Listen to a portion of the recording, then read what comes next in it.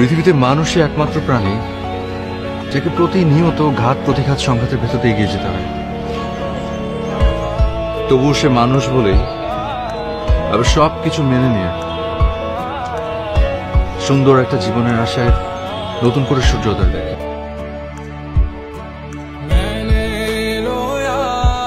तुझे ढूंढ ढूंढे